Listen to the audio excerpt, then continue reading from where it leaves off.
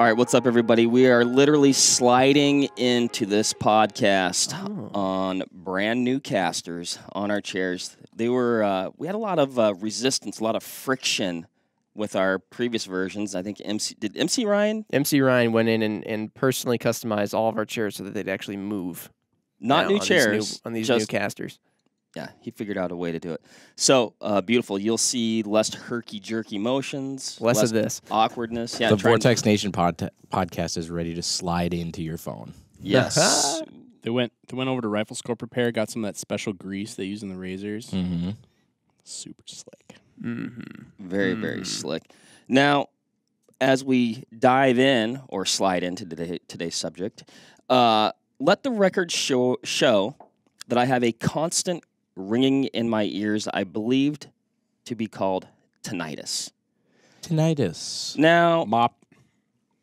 the reason why that's important, or maybe it's not important, maybe it's just a me issue, is because we're going to talk today. We got Jim here, of course. Hello. We have Reuben Yep. and Adam, resident guys? experts on everything firearms, related to firearms, all sorts of stuff, and suppressors, oftentimes called silencers, but I think probably more accurately called suppressors.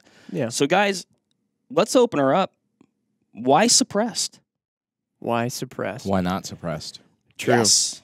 That should be the question that we're asking. Rube, you kind of brought this up as you had a lot of thoughts on the matter, a lot of ways to explain to a lot of people that why they should go suppressed. You know, why don't we? I, suppressors are suppressors are an odd thing. So let's let's explain this for a lot of people out there who might not be as familiar with them, right? So Yeah. for the folks on the uh, uh, in the industry and, and customers out there who are quite familiar with the suppressor world, you might know that getting a suppressor isn't necessarily as easy as just getting a regular firearm or something like that.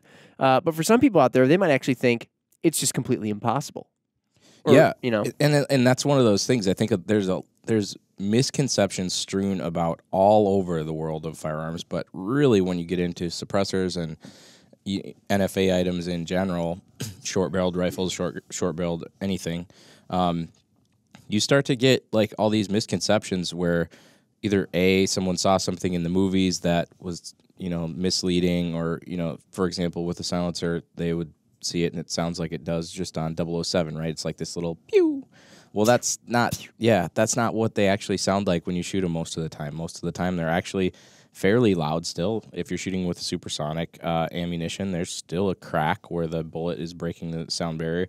And um, but but there's just so many like there's so many pluses to it that it's it's almost kind of like why not? And when I uh, about six years ago, I moved here from Wisconsin or from Minnesota, which at the time uh, suppressors were not legal in Minnesota. So to me, when I moved here, and I think I went to the range to do some uh, familiarization with some of the Vortex stuff, um, and there was a guy there that uh, is you know affiliated with Vortex, and he was shooting a suppressor, and I was like, "Whoa, dude, don't have that out in the open. Like that's not you can't have that." He's like, "What?" You're new around here, aren't you? Yeah, he was like, "What? What are you talking about, man?" And I was like, "You don't want to have that out. Like that's, you know." And it wasn't like it wasn't like one of the, like a suppressor like the one I'm holding right now, which has a bunch of kind of fancy engraving on it and some you know official lettering. It was kind of just black, and it looked like it was not. Uh, it looked like it was older. So I was like. The dude just like made this in his garage and threaded it on his gun. Well, no, like he he's out like of an no, oil can or, or yeah, what are they- yeah, like a uh, what you call it, Solvent. solvent Trap. trap. Yeah. And uh, so I was like, he's like, no, man, no, this is they're totally legal here in Wisconsin, and um, I've got like five of them, and he's proceeded to show them to me and kind of talk a little bit about what the process is to go through it, and then I, I just started thinking like, you can have these, why wouldn't you have them? Mm-hmm. Mhm. um, whether you're hunting or just recreational shooting, like to me, there's there's so um, when you can get past all of the misconceptions and the way that the media portrays them and the way that they're looked at in movies and stuff like that, they're so dang practical. It's like Yeah. Now, by no means should you look to solely the Vortex Nation podcast for all of your legal advice. And we know that, for example, Reuben just explained how states can differ in their various different regulations and things. But Yep. in general, in most free states, uh, Yep. how would one go about getting a suppressor? Well, suppressor ownership with uh, to private civilians.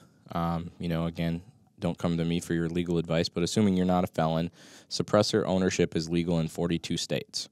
Um, that means there's eight states where civilians cannot own them, and they're actually legal for hunting in 40 states. Uh, I got that information from American Suppressor Association, which is a really good resource on learning about suppressors, how to acquire them, how to legally own them, stuff like that. Adam's actually an expert when it comes to filing paperwork on these items, so I'm going to actually let him talk. I know quite a bit about it, but he's kind of, gonna- he's a junkie. if we're gonna run it down real quick, I was also I was in the retail world when they were legalized in Minnesota. Minnesota was one of the one of the later entries into into legalizing suppressors. So I had a front row seat to when July first they were legal, and there was like a cascade of paperwork. Um, but basically, what we're looking at is silencers have always been legal. Uh, what regulated them was the National Firearms Act of 1924. And if you're thinking historically about what was going on in 1924, they were breaking up the mob from from the Roaring Twenties or 34, excuse me. Um, they so they were that was a time where you could buy a Thompson World War One Thompson out of a mail order catalog, and so they were like, "Wow, you know, I mean, Better probably, time. probably, you know, the, yeah, that was what they were. They were the thought was is like, well, Al Capone has Tommy guns. We don't want him to have Tommy guns. Yep. We don't want to infringe upon the Second Amendment because there are people that were still as adamant about that then as there are today. But they used tax powers. They said, well, it's not illegal, but you have to pay a tax, a two hundred dollar tax, which at the time was like a bajillion and seven dollars. Yeah. So that number hasn't changed then. Correct, because the Great Depression hadn't happened yet, so they had no concept of inflation.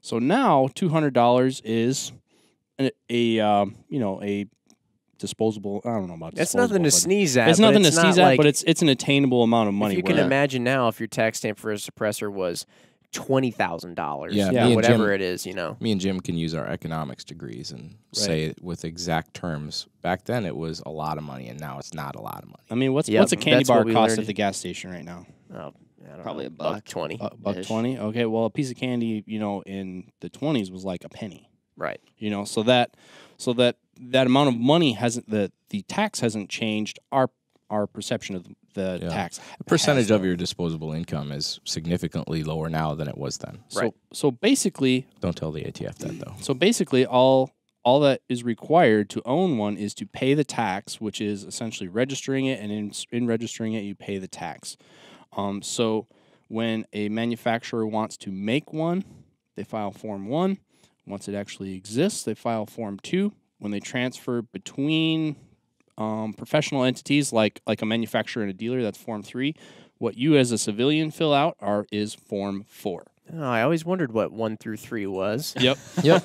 So- so, so to take a little bit of very very basic approach, if you're wanting to buy a suppressor uh, as a as a gun owning uh, Second Amendment loving person, you would go to a gun shop. Yep and That you- has their SOT, right? That's Yep. what they need to have. like they can't just be a regular FFL. Yep, they've paid more tax for Yep. for the the ability again to pay more money. pay, more- Uh, pay more money to be able to sell What's the these. what's the SOT stand for? uh, special special something tax special? Dang it, Mark. Uh, it's a Sorry, I special thought you guys- something tax, but it's uh, we I, we I used look, to know it at one Yeah, time. we could look it up. Um, but so you go to the store, uh, you decide I want that one, and you pick one off the shelf, and you look at it, and you're like, this will do what I want it to do, and you tell the gun counter associate, which Adam will play. I'll be like, Yep. Adam, I want to buy this suppressor. What do I do? All right, Mm-hmm. I'm gonna need you to fill out this form.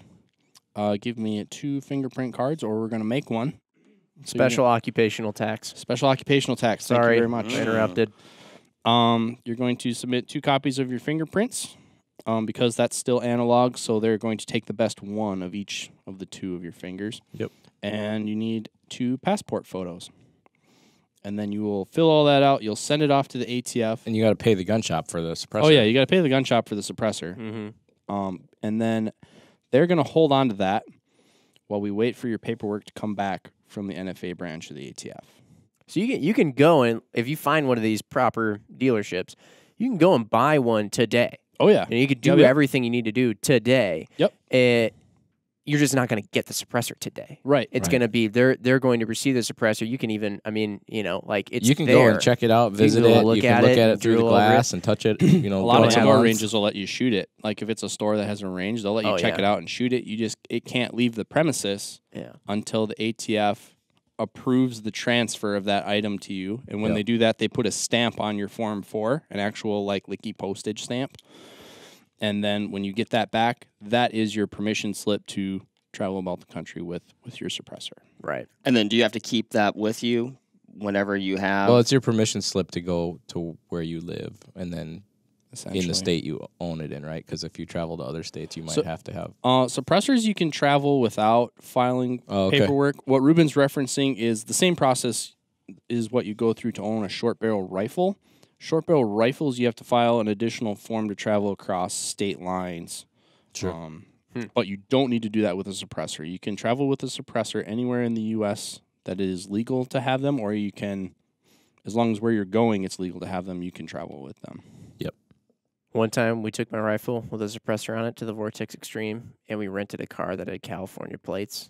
And I just thought it was really funny that we were driving around in a car with California plates and a gun that had a suppressor on it.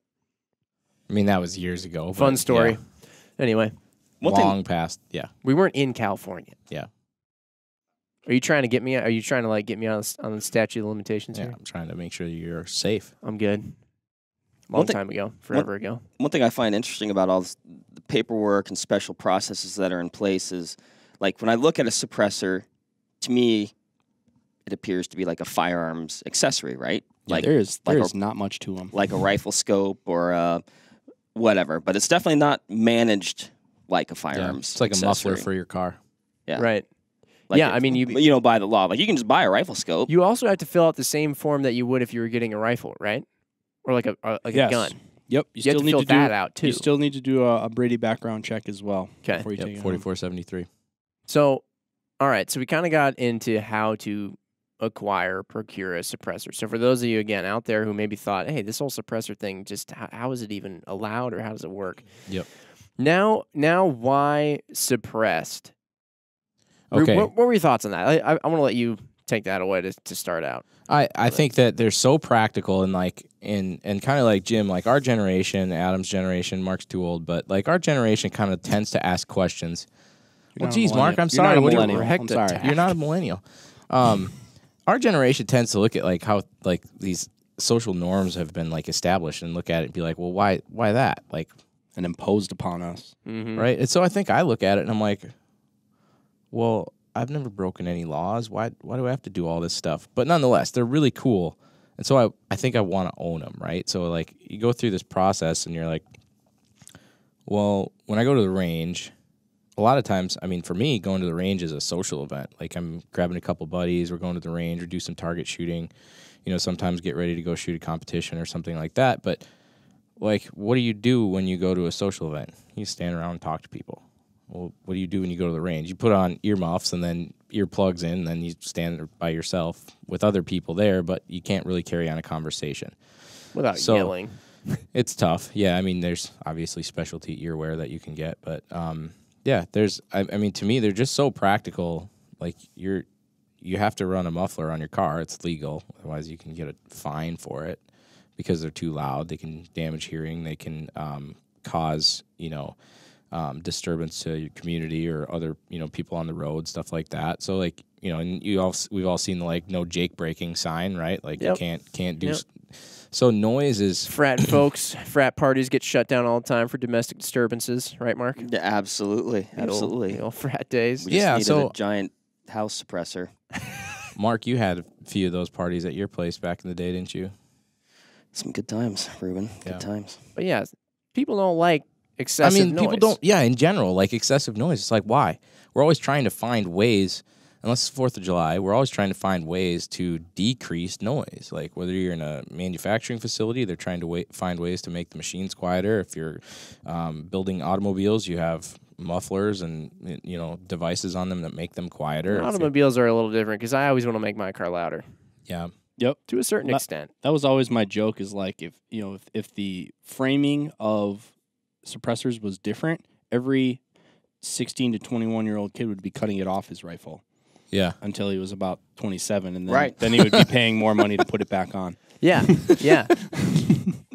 Um, That is very accurate. if every gun came with a suppressor, people would be chopping it off. Yeah. it's one of those things where it's kind of hard to pick one reason why why suppress, but because there's so many justifications in my mind of why to have them. Okay, if we're talking about hunting, if we're if we're out in the field, um, there's you know studies show that 70 to 80 percent of hunters don't wear ear protection.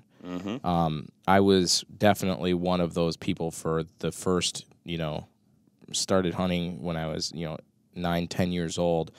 Um, where I grew up, you couldn't deer hunt until you were 13, but you know we could you know could go out and get our firearm safety done. We could go and um, waterfowl hunt, small game hunt, stuff like that. So you're standing in a duck boat next to all these guys shooting, and you know no ear protection. So we get to this point where now I'm 30 years old and I have like over 30% hearing loss, and that's you can't get it back. Right. I mean, Yep. if you have vision problems, sometimes you can go and get LASIK, or you can, you know, um, wear contacts that'll correct an astigmatism and stuff like that. There is no way to get your hearing back. I mean, to my knowledge, without absolute like major reconstructive surgery. Basically, what you're hearing is is there's uh, hair-like structure. They're cilia, but they're hair-like structures in your ear, and as they move, as as the sound waves vibrate them, that's what you perceive as a sound. Yep. Okay. when you experience a sound that's the, the way they measure sound is, is a measurement called decibels. When you experience a sound over 140 decibels, Yep. basically that stimulates the cilia to the point that they break off. Oh, okay. Yeah, And and, that's- that's what's called a catastrophic hearing event. Yep. And that's essentially That like means that you don't get it back. like if you damage a nerve in your hand or something like that. I mean, that's just kind of the ache or the Yeah. it will just it basically oh it's basically like uh, like an audio device or whatever. You just like plug in a mic and just let it. There's no feedback into it. It's just it's just a hot mic and it makes that hum noise. That's what your ear gets, and they call that tinnitus. So the the ringing in your ear that is the cumulative damage that you've done to your ears. Okay. And what people perceive as going deaf, they would think, oh, well, I'm not going to be able to hear anymore. It's not that the world gets quieter, it's that the ambient noise in your head gets louder. Yep. So I, I've done Huh. enough damage to my ears to the point that I can't I can't sit in a room and hear the hum of a light bulb or a refrigerator. Or even some point like when you sit in the woods, like you used to hear that vacuum in the deep woods, like when the wind blows through. Can't hear that. No, I just get tinnitus. I've gone in like these. you can't hear that because there's a, there's like a ringing that's there's like yeah, overpowering it. Yeah, there's like there's like an ambient noise in my head that in that a that a natural an incoming noise has to be louder than that for me to perceive it. Yeah. Mm. Interesting. So like you you have you heard of like those sensory deprivation chambers where you go in like Yeah. they're in the ground, but like you're in the water, and then they close a couple of lids, and it's like it cancels out all the sound. They had one of those in the in La Crosse where we went to school, right? Yeah. At the Trane factory. Yep. Because then they could figure out what was going wrong with some of these HVAC systems because they could hear. Yep. That was always what I heard. I never actually. No, that's true. Um, so I went, I got to try one of those things out, and it was at a trade show, and it was like either I think it was in Vegas, but it was like in one of those huge giant centers where you walk through, and you know, like you can go in and try this out. And so I did, and like the ringing in my ears was so loud that it was painful. Like Yeah. it, it hurt to be in there, and I was like, nope, let me out. This isn't working. I can't. I can't stand how loud this noise in my head is. when it when it's Wow. super quiet, it, it's Yeah. like it amplifies it. I think when there's just like you said, there's that Yeah. ambient noise, like you could kind of block it out. I think you just mentally ignore it, or you'd go absolutely insane. So that's why bit, yeah. that's why But- people with tinnitus need white noise when they sleep, Yes. Yeah. like a fan Yeah. or something Yeah. like that. Yeah. So they're Could trying be. to hear that instead of the ringing. Okay. So nonetheless, yeah, you have these catastrophic events that permanently damage your hearing. So to me, I have uh, two little kids, and I want to be able to hear them give their you know high school graduation speech when they're the valedictorian, right? So um, to me, I looked at like I want to protect my hearing. I want to um, I want to make sure that I can preserve that for years down the road. The other thing is, you know, there's a lot of there's a ton of justifications for why you know why we would use one of these items. Um, uh, my professional career at Vortex here, well, I try to be a f- professional. Sometimes I don't quite always make it, but um, what I do here at Vortex is uh, work with our dealers on product training and sometimes technique training and you know learning how to do long range shooting and stuff like that. But uh, a lot of times that's like either one on one or like one on a small group of people doing instructional shooting and how to use our products. You know, how to take a Viper PST out to a thousand yards or beyond, and and so we'll a lot of times we'll bring in a dealer and we'll get him set up on the long range and uh, have four or five guys laying on shooting mats on the ground, and then uh, me and you know either Adam or Nick or um, any number of guys that go out to these events to to work those. We'll we'll instruct those people as we go. We always use suppressors because we still we still you know kind of suggest that they use a little bit of hearing protection. You know maybe some muffs on the outside or something like that, uh, but we can carry on conversation the whole time that we're out there shooting because it, it's not overpowering um, and we don't have to have ear protection on all day so we can Yeah. we can be carrying on conversations and especially you know we're out in the open field um, laying on a shooting line you know it's not in a building or anything so if we're out on the on the field lane on the firing line and it's in a, a big open area with not a lot of walls or uh, um, things that the sound can bounce off of back to us. I mean, you don't even sometimes don't even have to have hearing protection depending upon the length of the barrel you're shooting and the the Keeps it- quality of the suppressor it that to you're a using. dull roll. Yeah. Well, and you think about it like like that's your job, right? Like you know, you look at anybody else's job where they're around a lot of noise or loud Yeah. equipment. Mhm. They're always wearing hearing protection, and Yeah. actually, they don't have They they don't don't, even- have the option Yeah, they're to suppress required. that equipment, right? They're Right. required. Um, just one, like we talked about, just one e- event, just one shooting event could damage your hearing permanently. You know, and you get in a scenario like that where you guys are around it all the time, probably Yeah. definitely more than average. Well, And- and think about it too. Like you, you're talking about shooting with people that, you know, whether it's maybe at a retail or you're not shooting with somebody who's brand new to shooting, but a lot of times you wind up going out to places where you're shooting with people that are brand new to shooting. Yeah. And and and if you want to make shooting an enjoyable experience for somebody who hasn't done it before, the last thing you want to do is have a bunch of muzzle brakes and them getting like punched in the face. I mean, literally, Yeah. when you're next to a nasty muzzle brake, it feels like you're being punched Yeah. in the face when it goes off, and that doesn't really make anybody want to come back. So that's actually a really good, you know, segue into another reason for suppressors is that uh, a lot of the reasons why people will develop a flinch or develop, um, you know, a, uh bad shooting technique or, or what have you is they're bracing for this huge impact. And I've I've done this a few times where I've what I've done just as kind of a you know my own little social experiment, I guess, uh, is I'll set up a firearm without a suppressor, and I'll have them shoot it and then I'll set up a firearm with a suppressor, right? Same gun, same well, same cartridge, same kind of loadout, right? But maybe in a different gun that's not suppressed. And I'll have them shoot both of them, and uh, I'll ask them like, number one, I'm watching how accurate they are with either firearm, but I'll also ask them like, hey, what which one recoiled a lot more? And suppressors, depending on the model, can can um, reduce recoil. I mean, some of them some of them don't. I mean, it's just a fact. Some do, some don't. But um, I'll ask them like, which one, which one are you more comfortable behind? Which one felt like it kicked more? Right. Which one um, do you feel that you were more accurate with? And you know, you know, to the competition shooter, three gunner, PRS shooter, who oftentimes they're using a muzzle brake to really mitigate that muzzle movement. I'm not talking to you right now. I'm talking to the person who's getting into shooting. I'm talking to the person who's um, on the range using it, doing accuracy testing, whatnot. And they're they're always like, oh man, the one with the suppressor was way more fun to shoot. And so what we do here, a lot of times at Vortex, we're we're hiring people right as as the company grows, we're adding people. Um, we have sometimes we have people that you know don't have a lot of exposure to shooting, and so we'll bring them out and familiarize them with guns. And uh, we just took somebody out from our dealer sales department that didn't have a ton of experience shooting, and um, she was like, you know, I'm not super. She's like, I like the idea of shooting. I like guns, but like I'm not very good.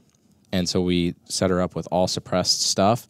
And I had to drag her out of the range at the end of the like. I was like, no, Yeah, we have to go back. Like, We gotta no, you work don't, now." you don't understand. Like we're done. They, there's 15 people behind us waiting to go to come into the range and shoot. And you know, of course, we turn around and there was like a police department there waiting to come in. But like she was so excited by the end of that time. She was like, I had no idea that it was going to be that fun. I, you know, realize now that I wasn't afraid of the gun's recoil. I was afraid of the noise. Yeah. And there's a good analogy made. Um, there's there's a I don't know exactly if I'm going to say it right, but if I went up to you, Jim, and I said, "You stand there, and I'm going to push you as hard as I can," right? And I just pushed you right in the chest, and you fell backwards a little bit. And now I, now the next time I do it, I push you, and an explosion goes off right next to you. uh, You know, loud noise, same force. Which one feels like it's more catastrophic? The one with the noise. Absolutely. So when we're shooting, preparing, you know, even I've, uh, I actually got so nerded, geeked out by suppressors that when I, um, when I moved here to Wisconsin, the first year that I moved here, I was able to have my paperwork done and everything on my first suppressor, and I hunted with it that fall, and it was like, I felt that by being able to hunt with a suppressor, I was able to make a more ethical, more precise shot. Um, I didn't, you know, and this goes into yet another reason, but like I, I didn't spook every animal on the property. Like it, it wasn't so quiet to the point where it was like video game quiet, but you know, there's a little bit of wind going on. The wind was blowing in the other direction. I saw some other deer, you know, several hundred yards away from where I was. They just picked their heads up and looked and went back to eating. So it was like, to me, I was able to actually make a more ethical shot. I didn't have to have my ear protection in mm-hmm. because so which allows me to hear what's going on out in the Yeah. woods better. So, Yep. you know, I think you become a more I think you become a more effective hunter and a more ethical hunter by hunting with a suppressor too. Yeah. Well, I've- and you're preserving your hearing, and you know you talk about like, you know, hunting versus being at the range. Like, when you're hunting, that's like that's oftentimes an all day or multi hour Yep. experience where you need to be able to hear. You need you're listening for game or whatever noises, a turkey gobble, this, that, the other, and when that kind of moment comes where you might need to take that shot, you oftentimes need to be very still or Mhm. calculated with your movements.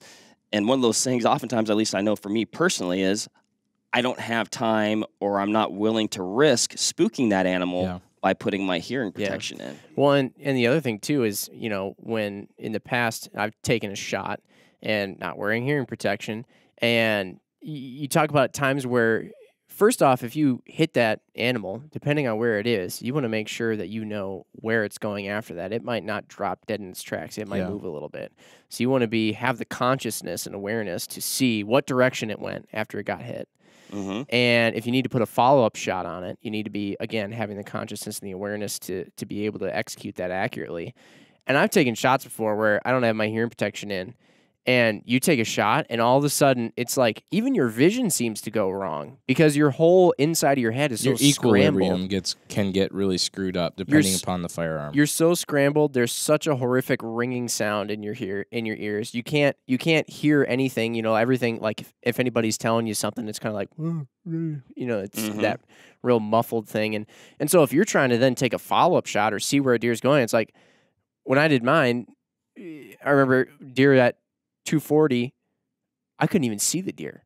Everything was blurry. Yeah. My like everything in my vision was blurry. Here's something that comes up for me, and and what I actually realized this this year. Um, and I, so what I realized was that oftentimes after you take that shot, Mark or Jimmy or Adam, like when you take that shot, um, you've been in a situation where you need to take a follow up shot on an animal, right? Um, a lot of times you take that shot and all of a sudden the second shot you're like all shaky and like at least I noticed that I get kind of like that panicked like okay I need to take another shot. I noticed that hunting suppressed because this year was the first time I needed to take a follow up shot. Um, it was like I was calm, cool, collected. Like and it was and it wasn't anything other than just this explosion didn't just happen and I didn't just feel like this shock to my Right. face from a muzzle brake or from like the gases coming out the end of the gun. I it was like boom. Okay, yep, need to take another shot. Boom. Mhm. It wasn't it, I've always found that after like that first shot, my next shots are not nearly as effective as, as Yeah. my first. And in, and if you need a follow up shot, that's probably the one that's more important, right? Because now you're now you you have to put that. Well, at that down. point, it's you know Yeah. The wheels are in motion, and, and I hadn't thought about this aspect before, but I I was in a scenario this year, Reuben, as well, when I needed to take a follow up shot, you know, and you brought up the fact that it's not necessarily going to spook, you know, surrounding game. Yeah. Uh, and we were in a scenario where there were a lot of deer out, shot, needed to take that follow up shot, and game spooks game, right? Yes. So when one starts to run, a lot of them start to run.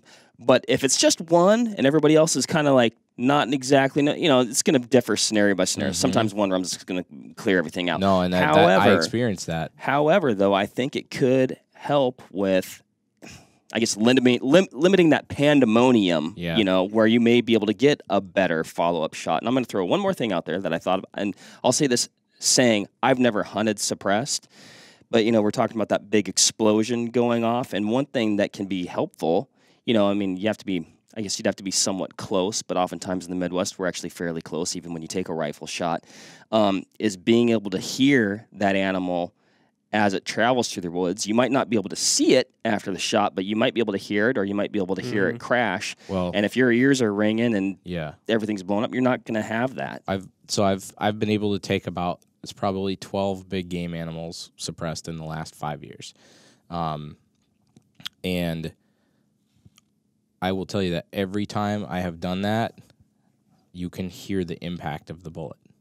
Not like if it's really windy, Sure. blowing away from you. Sometimes it's hard to hear that, but you can almost always hear the impact. That impact. kind of thwap. yeah, it's kind of like if you take a baseball bat and you hit a, a rug hanging on a clothesline. Yep. Yep. Um, you hear that sound, which I mean, to me, lets me know that I that I hit the animal. That's important Um, information to have. Uh, Yeah, so is. so ideally, you hit it and it drops in its tracks and it's dead on impact. Well, as hunters, we know that doesn't happen every time, and so the but but knowing that you hit that and you can tell after, I mean, after your first time you do it, you can tell when you hear that.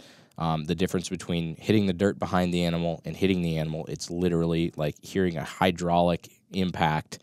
Yep. Um, it's the only sound that's going to sound like it's that. it's the only thing that sounds like that. And so for me, that's the difference of like, okay, I didn't see any blood, but I hit it.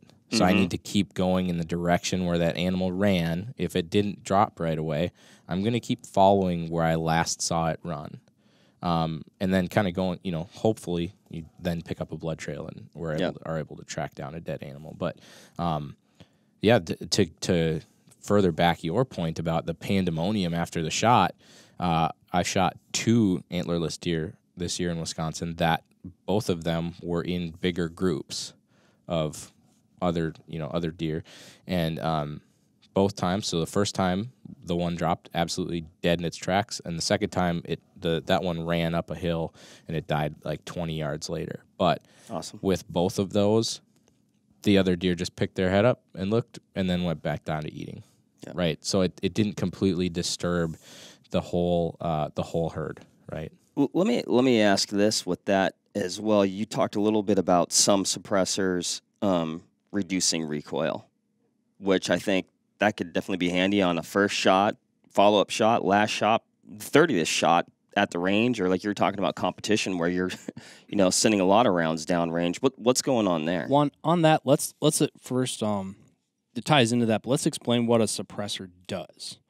Sure. When you when you Hey. fire Details. when you fire when you fire a gun, there's three s- three sounds stacked on top of each other that you perceive as a gunshot.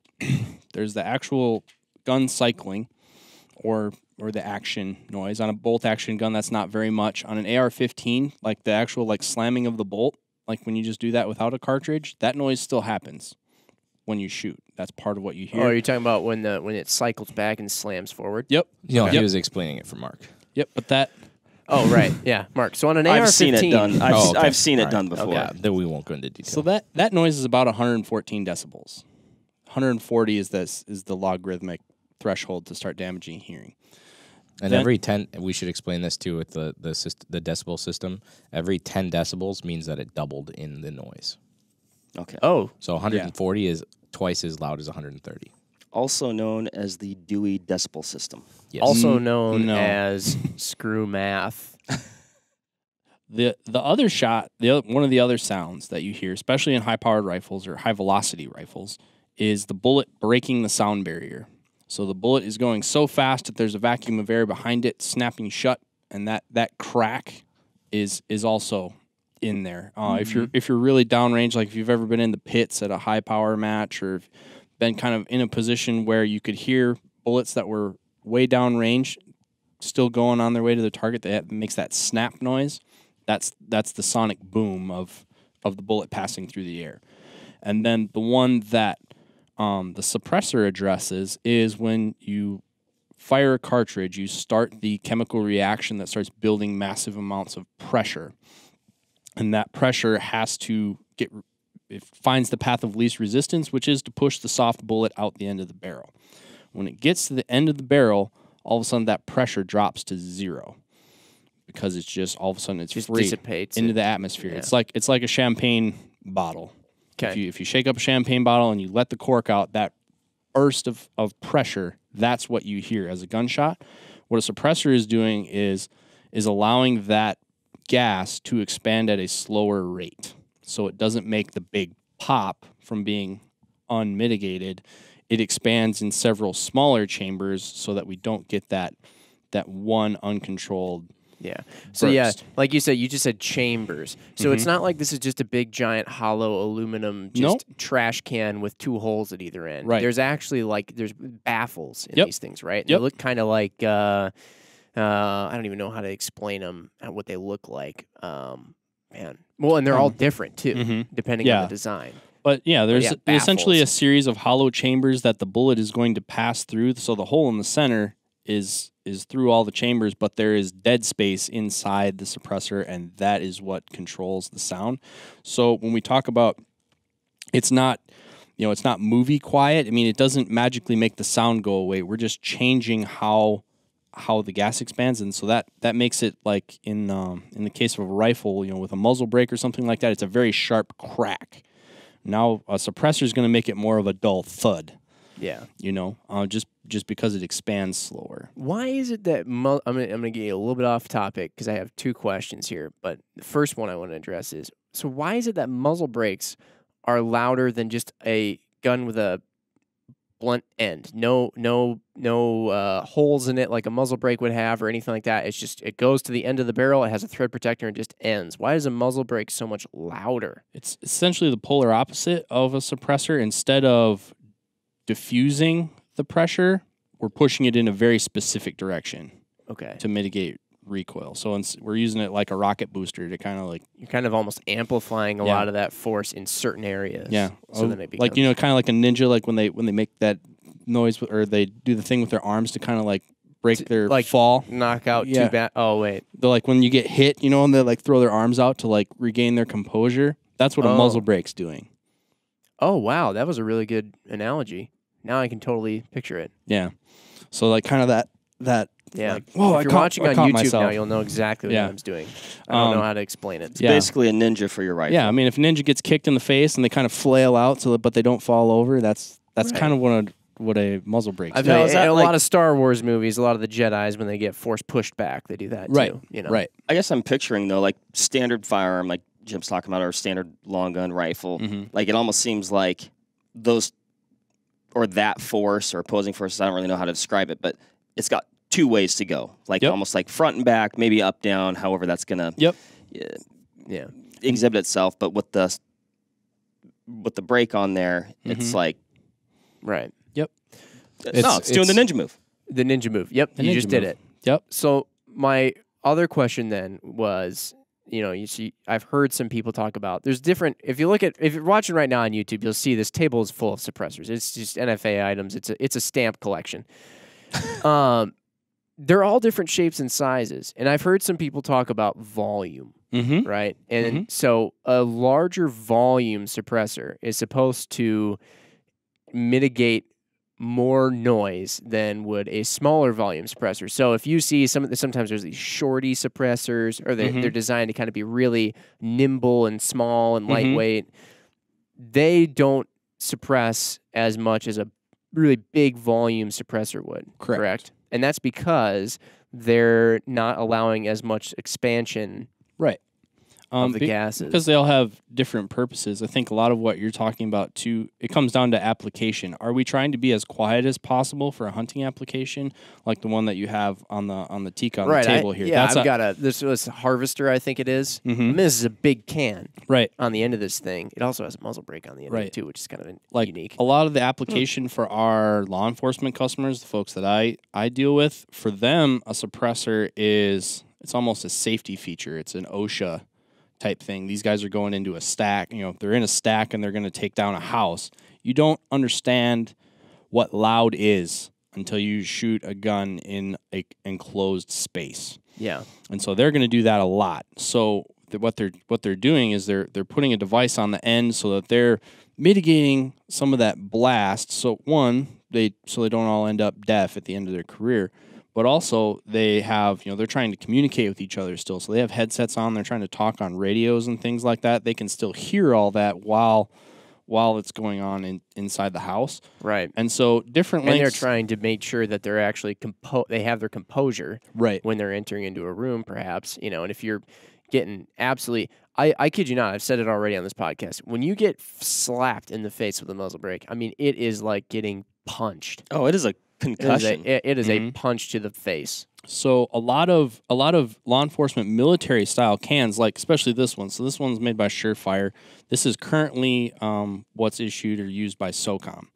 Um, not the quietest can on the market, um, but it it brings the blast down to that safe-ish threshold, and then they also start to do things like um, mitigating flash. So how much flash comes out of the end of this versus not.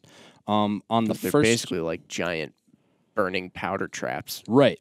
And at the same time too, um, so part of what makes a suppressor work is is um, there's an there's a phenomenon around suppressors called first round pop. So when yeah, the glad first you said that. the first time you shoot a suppressor is most suppressors is usually going to be louder than succession shots because there is oxygen inside the can when it's cold. And as you shoot and heat it up and it's filled with um, burnt gases from propellant instead of oxygen, it's then quieter.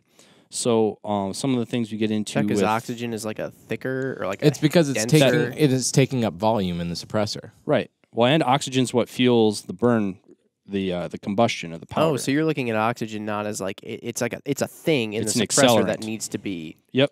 once it's removed. so Yep. lem- okay. can I ask this then? Mhm. In a suppressor that has more volume, hmm does it have a louder first round pop? Some do. Um, it's a very Not a specific thumb, design characteristic. Yeah, that Hmm. that so like That's this actually suppressor uh, is designed not to have as much first round pop. and that and that's something that people that companies will will advertise. Like this suppressor has yeah, you know, Okay, best right. in class, yeah. lowest first round pop or something Yep, like you that. can go pretty deep into the weeds on that stuff, but some of that's what's designed.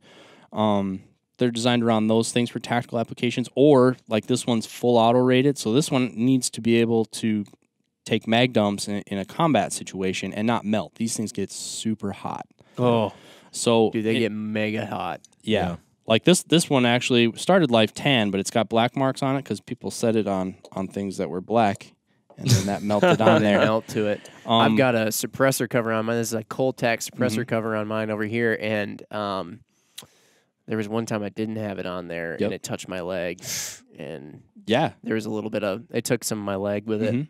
but that one that one is super lightweight. Small so that one that one doesn't have to take a full auto firing schedule. Oh yeah, it's just going So, on bolt guns. Yeah, so they make that one out of a much lighter material Yeah. so that it's it's more wieldy for a hunting situation. Where this Some- one's fairly heavy. Yeah, and I mean some of the materials that they're using. I mean steel, Oh, yeah. stainless steel, aluminum. If you're talking about like the the Stinger Yeah. defense, I'll feel What that is this? one. yeah, Um, this thing is. you- you- Holy they make them out of smokes! this thing is super light. titanium, Mhm. Inconel. Um, there's there's all kinds of different materials. Yeah, I mean like. Uh, it, it really depends on what the suppressor is expected to take and what it's Yeah. designed for. That one. Now, that- one one can't simply. I'm looking at this suppressor here.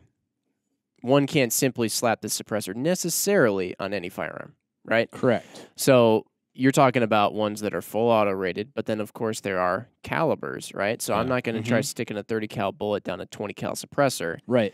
and or a 22 or whatever cal suppressor, and then there's different applications as far as like you said, full auto rated again, but Yeah. then also aren't there some Rimfire suppressor. rimfire? Aren't there some that are like? Uh, what am I trying to say? Are the pistol ones different than the rifle ones? There's basically can three Is three product categories, Okay. if you will. We got rimfire suppressors.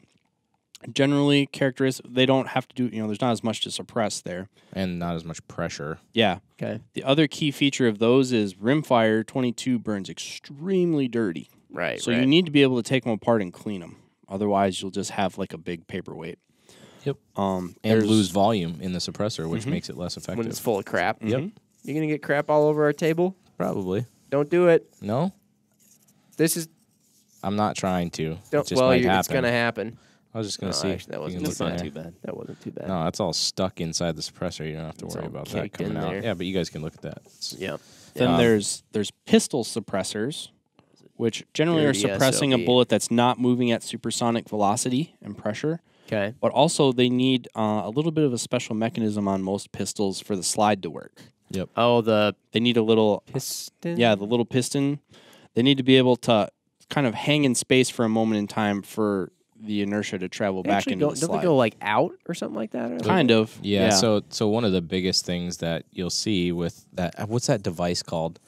It's not like a uh, it's- Nielsen's it's- device yes, or something like that's that. it. Something like that. Um, but anyway, so there'll be a spring in the mount where it mounts to the to the firearm, and so that suppressor when the when the gun shoots, that barrel actually unlocks, right? Like if you take like a Glock for example, uh, if you ever pulled a, a Glock slide back, that barrel goes out of battery and kind of tilts down, right? Yeah. Well, a lot of suppress a lot of firearms do that, a lot of pistols. So they have that. Um, s- well, and that actually happens in the first like half an inch of pulling your slide back. Mm-hmm. So what happens is they have a spring in the suppressor mount that so that when that happens, the suppressor isn't in instantly. So really, so it doesn't bend right over time, because that suppressor wants to stay here while the gun drops down, right? So they don't want it to bend and break or have a baffle strike as that um, Right. bullet leaves the suppressor. So Yeah. And then Yeah. you also extended the length of that barrel, so like the amount of energy it Yes. takes for it to tilt 'Kay. changes. So, So that can- Niel- that Nielsen device basically allows the pistol to function as it normally does when we change the dynamics of the operating system. Right. And then there's high power rifle cans or high velocity rifle cans. So those are generally not user serviceable. They're generally welded shut. Uh, you can't really take them apart. They burn so stinking hot that you never really have to clean them anyway. Um, but they're basically welded shut so they can take that extreme yeah, you know, pressure, Pressure. thousands of psi, um, and um, and work that way. And then And- they and- usually take the amount of heat. and and they do take that, and then like what does build up in a in a center fire suppressor, um, at least is in, in what I've been educated on, is able to be kind of burnt out. Yeah. So Much so, like your um, oven. Yeah, so do it do like an oven clean cycle, right? Goes up to 550 degrees and you do it for an hour. Well, so like I've talked to a couple of suppressor manufacturers asking them like what I should do to clean it out and they're like number 1, it doesn't really need to be cleaned out. Number 2, if you're concerned about it, put it on an AR, do 3 mag dumps of 30 rounds into the berm or at a target, but in a, a quick succession.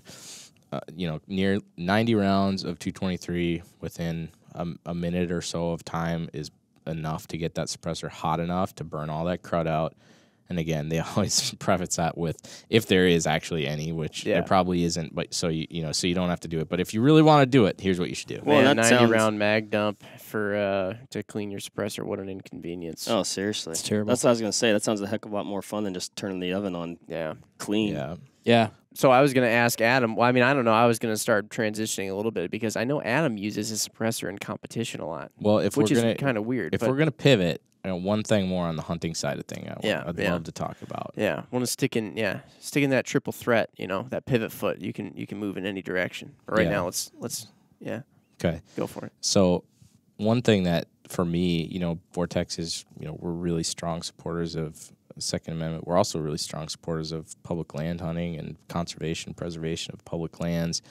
Um, I think if you looked at public hunting and you were talking to somebody who didn't have a good experience or was against it, you'd ask them, you know, like, hey, well, why don't you like it? You know, a lot of the times that that argument would come up, well, like, you know, there's other people out there who are scaring game or making a lot of commotion and Sounds noise. like a war zone out there. Sounds like a war zone. You know, if you got a suppressor on your firearm, I mean, the same piece of public land can now probably it, it's less disturbed when you have someone hunting with a suppressor. So not only are you um, not scaring game as much because you're not using a firearm that's as loud, you're also not affecting your fellow hunter out on enjoying the same piece of land. People, people, and creatures that don't need to be any, you know, don't need to know are none the wiser. Yeah, and Jim, and, can I? Oh, go ahead. Yeah, and I was just saying, like, if there was, you know, there there are horror stories of people who are out enjoying, you know, their their rights to use public land, and people who don't like hunting hear the gunshots and come over and decide to drive up and lay on their horn and scare all the birds off the land or whatever, scare all the deer out of the way, and let people know that there's someone there. So Yeah, because that helps nature. Right. So, I mean, I've been, I've actually had that happen to me. So, I mean, I can tell you that if I'm hunting suppressed, I mean, more than likely, nobody that isn't within a couple hundred yards of me is going to hear me. Well, and that goes for ranges too. I mean, like um, public or private. I mean, there's there's certain facilities that we use for some of our uh, dealer and customer experiences out here. There's neighbors around. Well, if, if Yep. all the rifles we're shooting are suppressed, I mean, you can still hear that we're out there shooting, but it's at a a much tamer level. The the sound is much more dispersed, so it, it allows us to um, be a lot lower impact on some of some of our range facilities too. Yeah. And that's also why we use them. And going back to what you were saying before, I mean that's why we use them on some of our our sales stuff too. Like when I when I go to a um, an agency, you know, we're letting guys try this stuff. It's like we can still have a conversation while three or four guys are, are shooting. Yeah. You know, um, it's not it's not like quiet like we can't we don't have to have earplugs in, but we can at least talk and understand each other. So Well, and you guys shoot ten thousand percent more than I do, but I know when I go to the range and somebody rolls up next to me and they've got a break on their gun and nothing against brakes or even just an unsuppressed gun. Or if somebody rolls up to me and they have next to me, I mean, you're shooting in very close proximity to other people, Yeah. and they have a suppressor on their gun. I know who I enjoy sitting by more and Oh, who I appreciate Well, and more. even you can be more accurate when you're not getting concussed every time Mhm. somebody pull, else Mhm. pulls the trigger. That- sometimes, yeah, your accuracy isn't even up to necessarily you. It's just up to when the other person is going to take a shot. And we talked about that before, but I will reiterate that point. Point. I'm a much more effective hunter, and I think I'm a more ethical hunter when I am hunting with a suppressed rifle. Yeah, yeah. Jim, can I I- also just don't like to. I don't know. Whenever I have like when I'm out shooting or when I'm out hunting, it's not that I don't want to draw a bunch of attention because I'm nervous or that I I I don't want anybody to see me. I just I just don't feel the need to draw a ton of attention to myself when I'm using my firearms. Yeah. And if you go to a range and you're the guy who's got just the boom, boom, you know, that thing. I mean, everybody's going to be looking at you. Everybody wants to come over. Everybody knows what you have, which, you know, and it's like, I don't really like to be that guy. Yeah. What were you going to say, Mark? I was going to say if if I could semi pivot while still on hunting before your full pivot, Okay. I wanted to bring up other cultures or or regions of the world Oh, like yeah. Europe yes, yes. where Glad you did. um, suppressors are the norm. And to my understanding, if you're not using a suppressor, you're looked at as kind of an a hole. Yeah. Oh, yeah. Like, there are.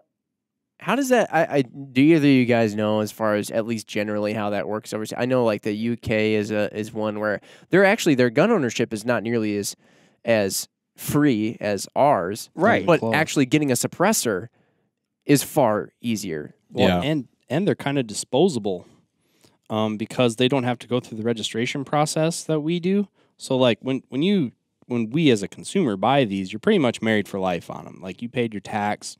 Like if you pay two hundred dollars to get one of these, you want it to last a long time. Over there, they don't have to register them; they just buy them as an accessory, so it lasts a little bit while they chuck it in the dumpster, and then they can go buy another one. Yeah, you have a, you have a lot less invested. And I do find it curious. You got, like Jim brought Yeah. up, you've Well, got you a have less extremely, time. extremely strict gun laws, Mm-hmm. but a suppressor is looked at as like, Yeah, and like the only reason that this stigma exists is a combination of the National Firearms Act and media Movies. media Mhm. perception. Yeah. Yeah, over there it's hearing protection. Over here it's like an assassin tool. Well, and like I know what you're referring to, Jim, in in regards to um, you know, like if you don't use one, you're looked at as an a hole. There there are certain countries and certain regions in some countries in Europe, I know, uh, and in the UK, where um, suppressor usage in urban areas Um, you know, especially with looking at like the population of Germany, it's an incredibly densely populated country with still some rural, but there there's a ton of people there. And so I know that um, in a lot of those countries where they do have that super dense population, that's where we're talking about the suppressor usage being mandated because you're hunting in areas where there might be other people. Well, look, I mean, think about, and to the listener too, I mean, think about the area where you're hunting. Mark, think about where you deer hunt. I'll think about where I deer hunt. I'm never more than um, a, a half a mile away from a house. I mean, really. I mean, there's, there's yeah. very few areas that I hunt in Wisconsin or Minnesota that I'm more than a half a mile away from a house. Yeah, or some of these spots around here in Wisconsin, we have the Ice Age Trail. Yeah. You have people that are out walking their dogs on the Ice Age Trail. Yeah. I mean, Obviously, you're not shooting un- in an unsafe direction towards them or anything, but you're not far from them. look at our local area Well, and, you're, here. and you're less likely to interrupt their experience. Right. Yeah. Yeah. Look at look at our local area here. We have public hunting opportunities very close to Vortex.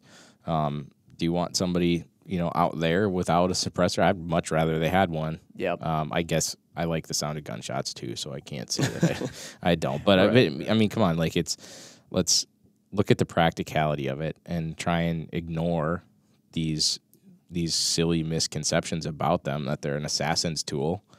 Yeah. I mean, because they're they're still not quiet. They're Yeah. quiet enough It's to just protect our ears. it's, yeah. Like You know, that's what they do. They're quiet enough to protect your hearing. when I was hunting this fall, um, my girlfriend and I were using 300 blackout subsonics with an expandable bullet, um, and she was about, I want to say she was about 100 yards away from me in her stand when she shot. So she's shooting a subsonic 300 blackout, a hearing safe bullet. Yeah. No, no ear pro No, required. no Yeah. ear pro required. Very comfortable to shoot to the ear. 100 yards away, I can still hear it. Yeah. Like I, wa- I was still like, oh hey, she took a shot, and then text her like, did you get it? Like I mean the the sound the sound is still there. The sound still carries. It's just much more diffuse. yeah. Um, so it's not again. It's like it's not like you're sneaking around and and and nobody's gonna know you're there, and you pew and you and you like take out this deer. But it's just like it was more. You know, it's more like it's more like slamming the lid on a dumpster or something like that. I you think know? the- it's, just- it's it's much it's a much tamer noise. I think the movies just grab the sound of like a uh, little like water spritzer, like that. Yeah. s- Well, essentially, you could also I just thought about this. Like, you could use the movie as an example. Like, suppressors make real gunshots sound kind of like movies project unsuppressed gunfire. In like you know, like, like they're a- talking, like they're having this big shootout in this bar, and like everybody's like, you know, there's like still talking, like yeah, yeah. like the the perception of a movie gunshot, like an unsuppressed movie gunshot. That's what it makes a real gunshot. Right, sound right, like. right. So we're just really we're dealing with like movie scale sound. Yeah, Yeah. Yeah. You know, compressors on cameras. So, so all right, I'm gonna make this pivot. What's up with Adam? You use a suppressor in competition. That's kind of like you're you're not many people do that. Why do you do that? Uh, yeah, I, I explored it quite a bit. Um, again, when it was legalized in Minnesota, I was like, well, why can't why can't we use these? There's some rule books where it's just against the rules. You just can't okay. because the timers run off gunshots. The impulse of the gunshot. Oh, that's what tri- okay. trips the timer. Right. So a lot of a lot of there are rule sets that don't allow them because it's harder to get an accurate score.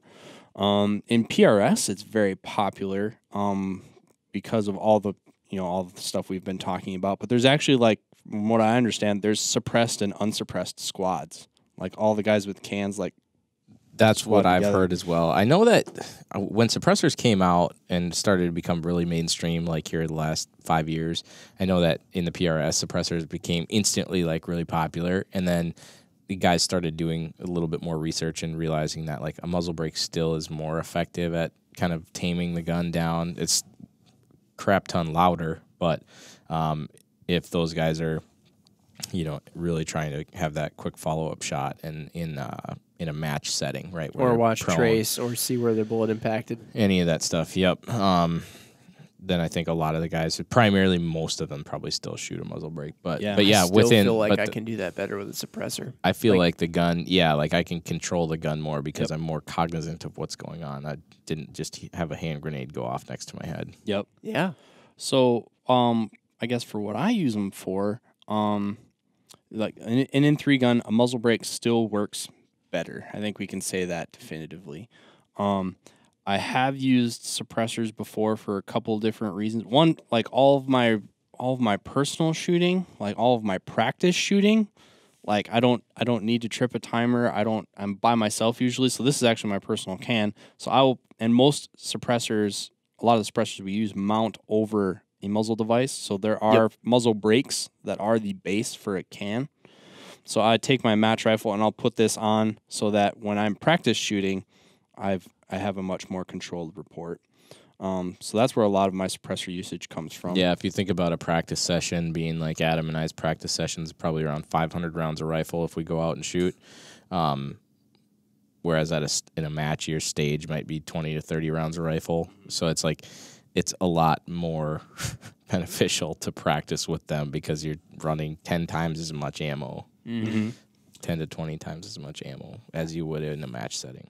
I also tend to carry them around, especially because I shoot open. So even most of the time, it's my option to use one if I want to. Um, if they put you in a confined space, Yes. like if they want you to shoot out of a car or something like that, or lately there's been a lot of the uh, the big culvert like drainage pipes Oh, that they want you to shoot through. Yeah. Like as soon as you see that, it's like Yep. Yeah, that thing's put- going on. you know. So now I don't, you know, it you know, a muzzle brake doesn't bother me when I'm shooting it normally, but when you put it in an echo chamber, it's like that can be distracting. so mhm. so Let I me- use it to mitig- mitigate blast that way. Let me ask this quick because I'm sure that somebody uh, is screaming at the radio asking us why we didn't ask this yet. Oh, look, Reuben and I are playing suppressor pass. Um, when you stick a suppressor on your rifle and then take it off your rifle, what does that do to your accuracy? Do suppressors affect accuracy? Are you more or less accurate with a suppressor, or and or can you take it on, put it, or put it on, take it off? It's individual to the rifle. I mean, changing anything in the harmonics of your barrel may or may not. It's it's very individual, specific to a specific rifle. Which we learned about from the F class guys. Uh, if you watch a video, uh, our buddy Adam Reiser, that used to be with uh, Amtac suppressors, Okay. they did a video. It's on Amtac suppressors website, uh, no, on their YouTube channel, and it's talking about point of impact shift with suppressors. It's actually a really cool video. It talks a lot about how there's this like my gun's more accurate with it. Oh, my gun's not accurate with it, or vice versa, right? Like my gun's more accurate without a suppressor. And it what it boils down to is it has a lot to do with the load. If you're hand loading right, like you develop that load for an uh, a node, an accuracy node, right? Um, which is a, a point where that round now becomes more accurate. And it's these nodes are. I'm not even going to p- pretend because somebody's going to crucify me. No, you're but good. like- Ian already talked about it on a podcast we did last okay, good. a little bit ago. Um, so Ian's if you he- let's just say on that. We already Well, know. We which- already know. Yeah, It's I- barrel harmonics, let's just say you develop a load physics. without a suppressor and you throw a suppressor on, a lot of times you might see a change or you develop a load with a suppressor and then you take the suppressor off it could change. Now there's always that chance that you have a load that shoots good or or you, let's just say you have a rifle and you buy factory ammo for it and you're out there and you're like yeah it shoots about a minute. And then you throw a suppressor on and it changes your harmonics to the point where now you're in a better uh, you know point in your barrel's harmonics for accuracy. Um, and then all of a sudden it shrinks your group down. You might you might think that the suppressor is making you more accurate but it could actually be that it changes the harmonics for that specific load of ammo Yeah. and makes the gun more accurate Or like you were talking about earlier, maybe you just shoot a little bit better when Maybe you got a suppressor on there. yeah That's true. That's true. i do i personally do Do you find that it makes enough difference in a competition, or that in like three gun, are you just shooting at such close distances? It's like ah, all I gotta do is Not really. I mean, really, what you're going to run into is is suppressor shift. So Yes. usually, you're going to have a point of impact shift between suppressed and unsuppressed. You may or may not, um, but it's it's something to know and account for. And then the um, some of what you pay for when you when you buy certain suppressors is repeatability of that shift. So it's going to shift a little bit, but I know it's going to drop a quarter minute down every time every time. when I Okay. take it on and take it off So that's that's Yeah. repeatability. You also have that to, you also have to think too about the the size of the suppressor, your barrel thickness, or your contour. So this mm-hmm. is this Ruger American Predator has got kind of like a Pretty light thin, contour, light light, light, contour. light Sendero, maybe something like that contour. I'm not exactly sure what Ruger calls it. So you take this suppressor, which is 9.2 ounces, and you take this suppressor, which is like 16.8 ounces. Oh yeah. What happens when you hang Portly. something on the end of Portland something? it pulls it down. Okay, Right. so um, yeah, some suppressors are going to give you a, a a shift that is entirely based on the weight of the suppressor pulling the barrel down, but they might have a really good uh, reputation of not increasing or not having any shift due to like the baffle stra- structure. So like you might have a suppressor that's really good, like doesn't have any shift due to the baffle structure causing disturbances in the airflow, right? Or gas flow. Then you might have a suppressor that is not necessarily having the the weight affect your shift, but it could have um, disturbances in the the flow of gases, which cause the bullet to have a different point of impact.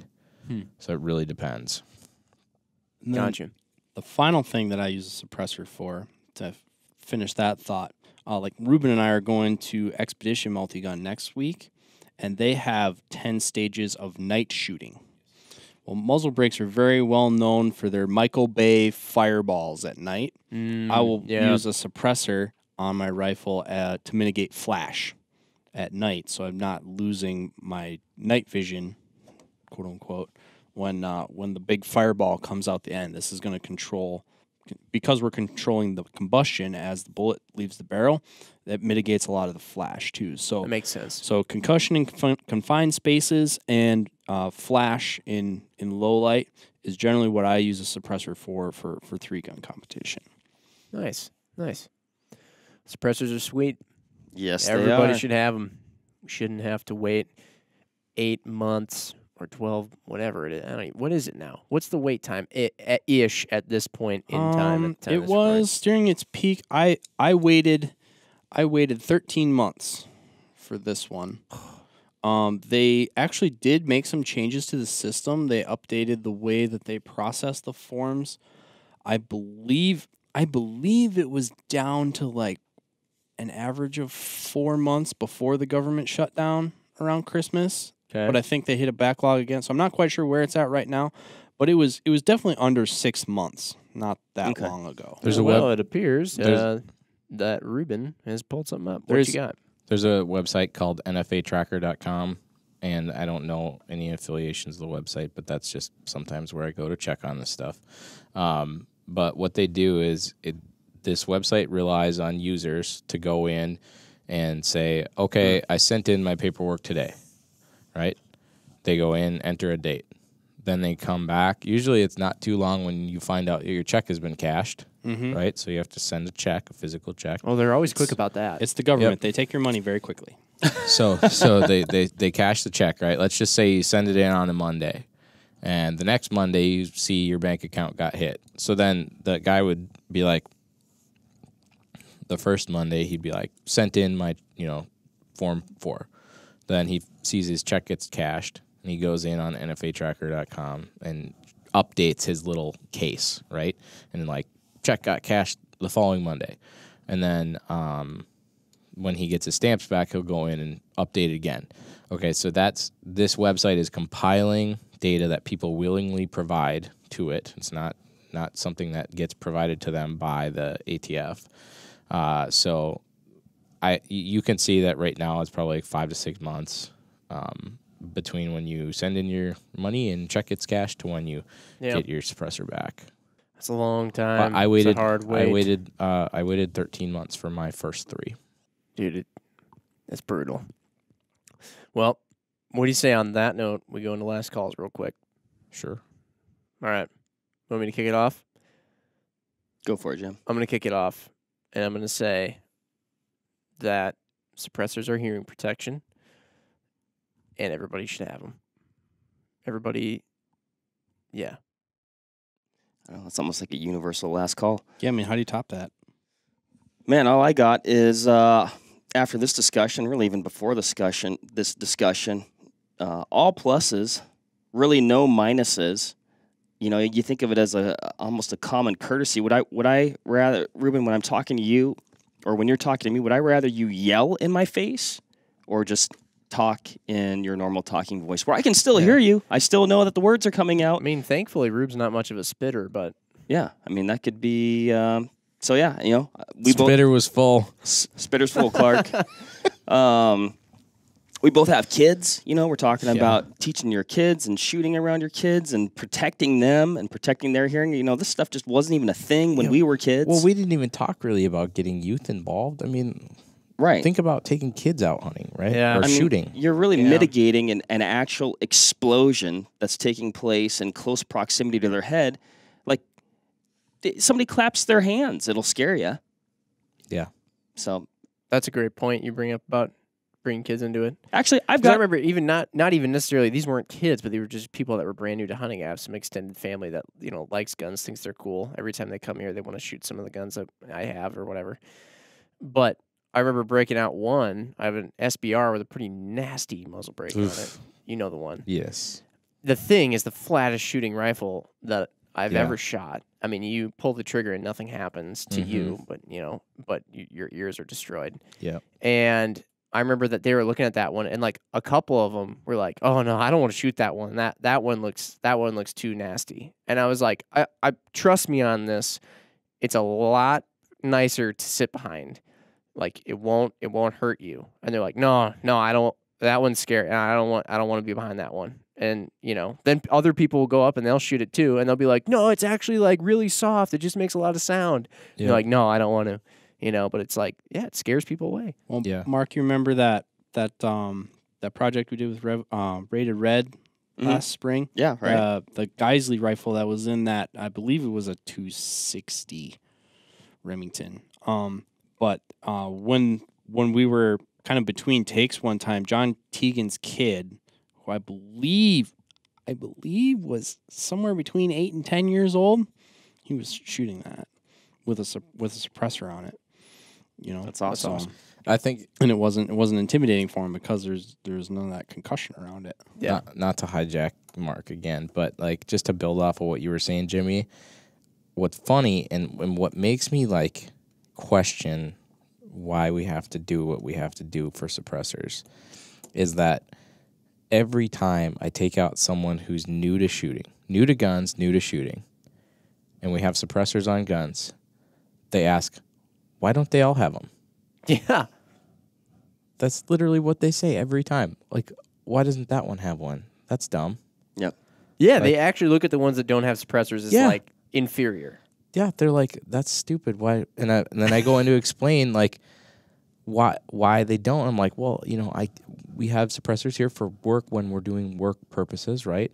But if I take somebody out on my own, I'm using my own, and I don't have enough suppressors for all of my guns. Right. So when I say like, uh, well, you know, I don't have enough, and they're like, well, you have all these guns. Why don't you have suppressors for all of them? And I have to explain what we have to do to get them. They're like, well, that's dumb. Right. Yeah. th- I mean, you're talking about a new shooter that instantly sees the practicality Yeah. and the benefit. Yeah. Mm-hmm.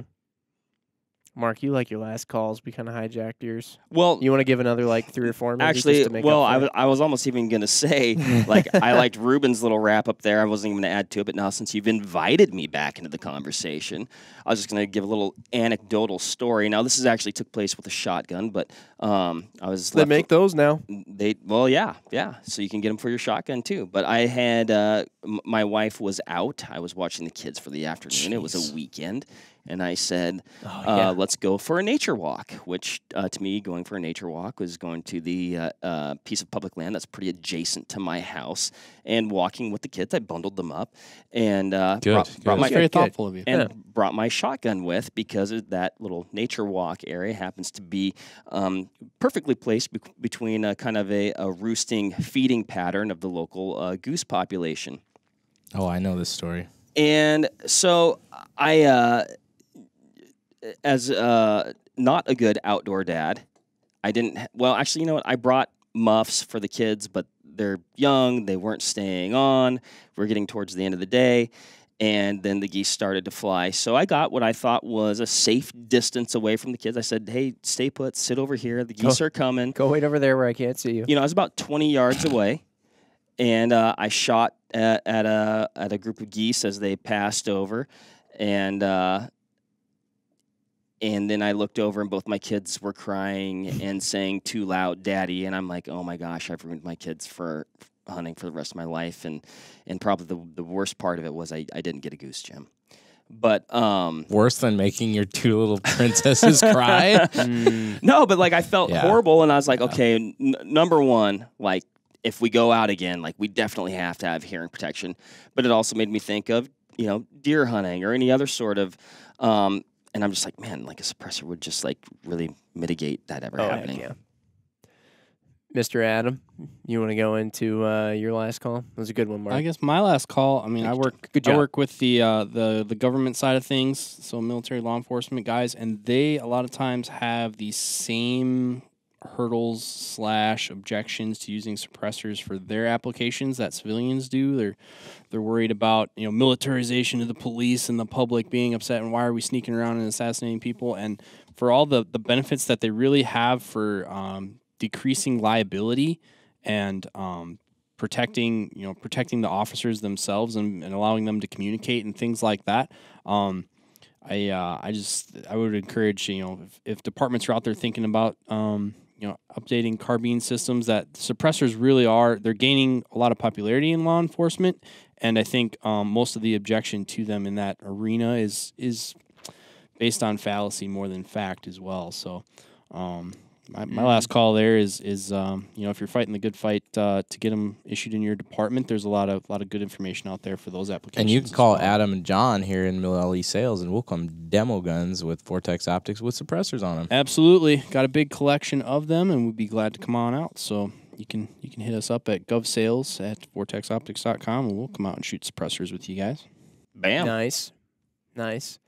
We like to save our commercials until the very end. this podcast is sponsored by Vortex Optics. If you couldn't already tell by the name and by the people who are on it. Anyway. Oh yeah, That's, sorry, that- Jim. that's not even a commercial. That's just offering No, a was just service. good, That was my that was some bad. good info. I No, threw that good. one in there No, without well, asking. we're at the end here. MC Ryan's non-consensual. MC Ryan's We're, letting us we're know creating a rare experience. There you have it. Rube, do you want to? Did you? You had a good one. Do you want to just close it out on a good one-liner, a good Rube one-liner? Okay, I got one other thing. Okay, do it. Uh, yeah. So, so the the biggest thing that I see with people is, um, when when when you're a, when you're a believer in something or a fanatic about something, or you're just really gen- in general just downright excited about something. I'm I'm excited about suppressor usage. I'm excited also about competitive shooting and stuff like that. So when I, whenever I'm trying to get someone else in to see the light, quote unquote, right? It's not necessarily about trying to get them to see the positives of it. It's about trying to say like to, to try and get rid of the excuses that people have to not do something, right? Like Okay. "Ah, I don't want to get up and work out because I'm too tired, right? Like get get rid of excuses. So the biggest excuse that I see with people in suppressor ownership is like, ah, man, I just really don't want to wait that long. I'm just going to wait until you know they're legal and then I'll get one or whatever, right? And so it's Yeah. like that. That's the biggest thing is like, ah, I'm not going to get one now. I don't want to wait that whole time. And then and then I go home um, and talk to that same buddy a year later. I'm like, yeah, man, you should get one. He's like, yeah, you know, I will. I probably just wait till uh, wait till they're legal. I don't want to wait that whole time. And then I see that person again you know, six months later, another year later, and same same thing. By the time we, so finally, I said this to a friend the other day, and he was like, "Yeah, man, I really want to get one." I was like, "Dude, since the first time we started talking about this, and you picked out which one of mine that you like, and you said you would go to a local gun shop and buy it, I said you could have had the paperwork done four times." And he was like, "Oh, yeah." And so he texted me the other day, and he's like, "Yeah, I just went and did it." Because- nice. Cool. Nice. Good. so so that's that's kind of the thing for me is like you can sit there all day and make excuses, but if you want to do this, just jump in and do it. Mm-hmm. Like anything, like the Vortex Extreme, like shooting three gun, like whatever. Don't you know the whole paralysis by analysis thing? Just get over it. If you want to do this, just do it. And six months is gonna it's gonna be. You know, six months from now is March, April, May, June, July, August. You're gonna have this thing before hunting season. Okay, so True. that's my last call. That was a good one. I like it. Get canned. Straight Get up. canned. Hashtag get canned. We're gonna start a new hashtag called get canned. Um, I i- am not going to ruin Reuben's awesome last call, but I am going to try and cover our butts once more and say that by no means is this podcast intended to be your legal source for advice regarding suppressor ownership in your particular situation. You should always check out what your state has to say about what you're supposed to Yep. do. There's lots of good information And out there. uh, lots of good info out there. Uh, Rube, you mentioned one earlier on. What was it? The suppressor, I, or Uh, NFA check out tracker. uh, American Suppressor American Association. Suppressor Association. Check them out. Uh, figure out any any small little variances that might be different from from your area than than ours. And of course, we are not lawyers, so uh, you know. Anyway, uh, yeah, we'll say that. And then also, if you guys have any other topics that you're interested in hearing about from the Vortex Nation podcast, please let us know. You can hit us up at Vortex Nation Podcast on Instagram. Uh, or you can really just hit us up anywhere. There's there's lots of avenues to get to us. So with that said, Rube, sorry to ruin your last call there, but if you check this out on YouTube, there's suppressors everywhere right now on this table. Thanks everybody. We'll see you next time. Bye. Bye. Bye. All right, that'll wrap it up for this episode of the Vortex Nation podcast. Thanks everybody for listening.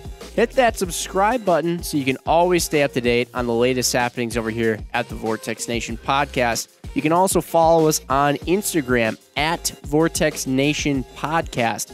Again, everybody, thanks and happy hunting and shooting. We appreciate it. Have a good one.